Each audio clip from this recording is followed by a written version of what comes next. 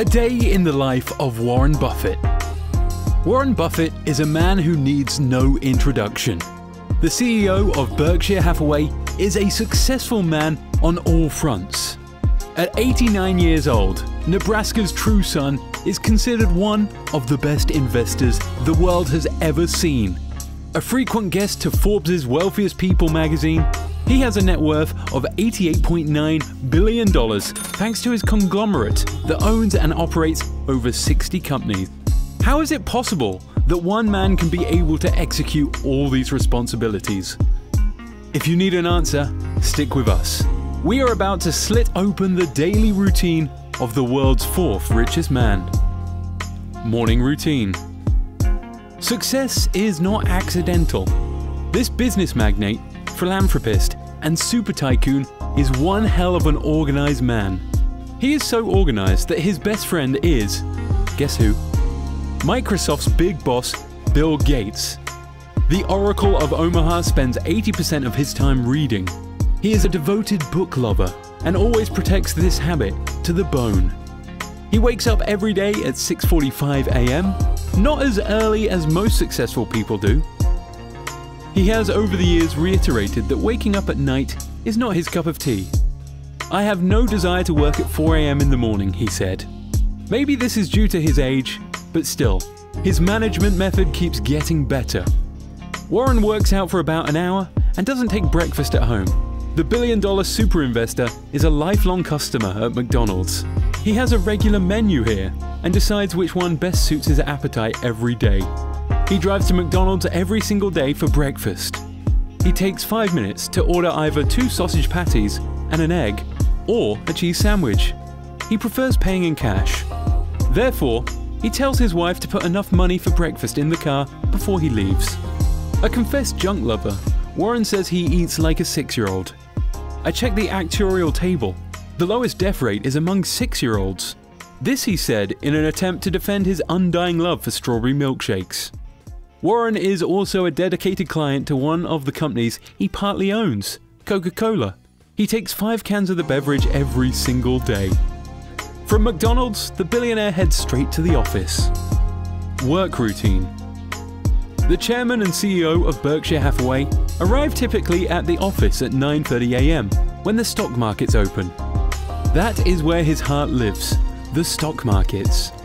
Donning one of his 20 pairs of suits made by the same designer, Madame Lee, all of which he doesn't pay for by the way, reason being, well, I don't know too. He walks to his desk, which he has used for over 50 years.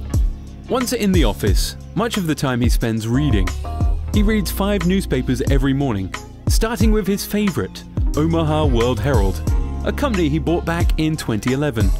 Asked about his obsession with reading, he said, Read 500 pages like this every day. That's how knowledge works. It builds up, like compound interest. All of you can do it, but I guarantee not many of you will do it. Warren reads and reads. He barely sends or receives email. Neither does he spend time looking at his phone. He says reading helps him avoid impulsive decisions in business. His reading materials are separated impressively financial statements, newspapers, and books. His system completely shuts down except for his reading instincts. He switches off television, doors, and windows and gets in the zone. Some of the books he credits his success to include The Wealth of Nation by Adam Smith, The Intelligent Investor, and Security Analysis, both by Benjamin Graham. Warren is not a big fan boardroom meeting either. Give him two options when at the office. First, he'd choose reading, the final option would be guess what? Reading. Bill Gates may be his best friend, socially, financially, and economically. But Warren has a sad story to tell about Microsoft. He has only sent one email in his life, which apparently ended up in federal court. Warren in 1997 responded to an email from Jeff Raikes, an executive at Microsoft.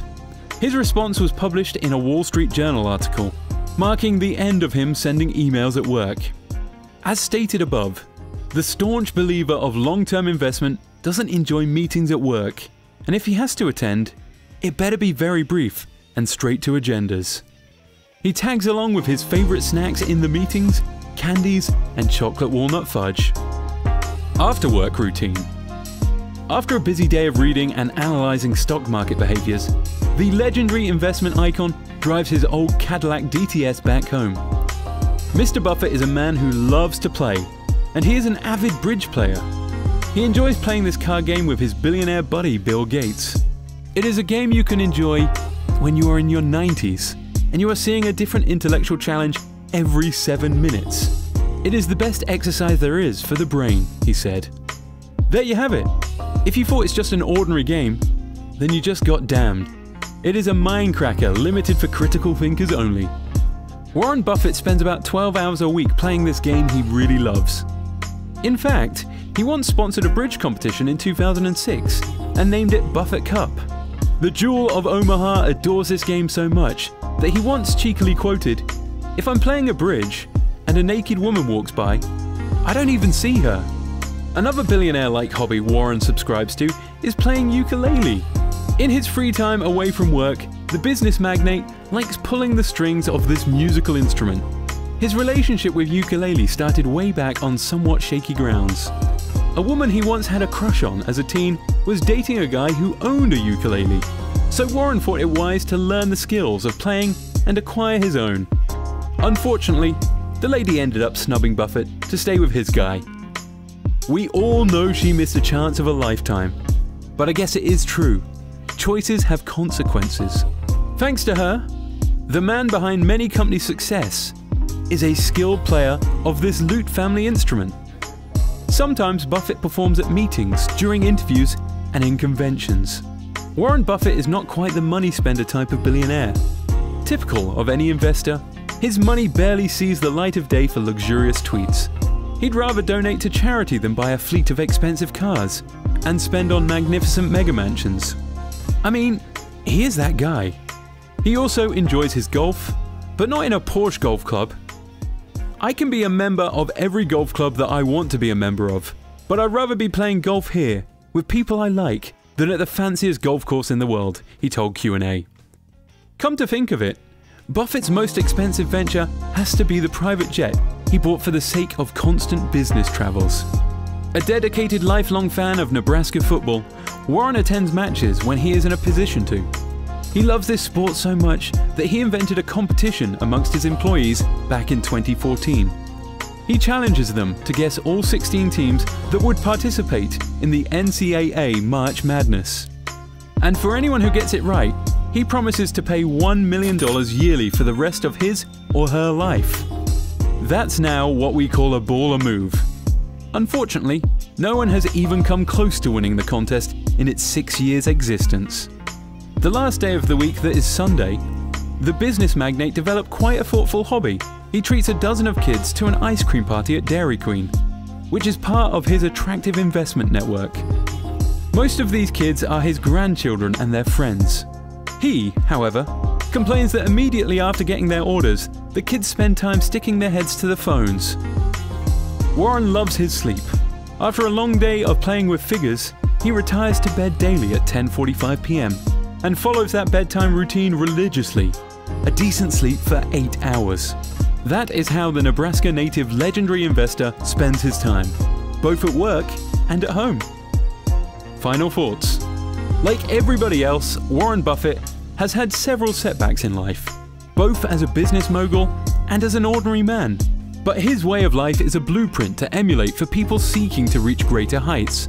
From being rejected to Harvard Business School, to his father-in-law predicting he would fail in his business quest, Warren teaches us the modesty and self-drive that most people in business lack.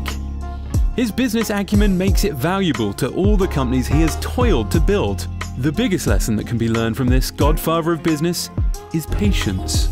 It is no doubt that that patience is not the ability to wait, but how you act while you're waiting.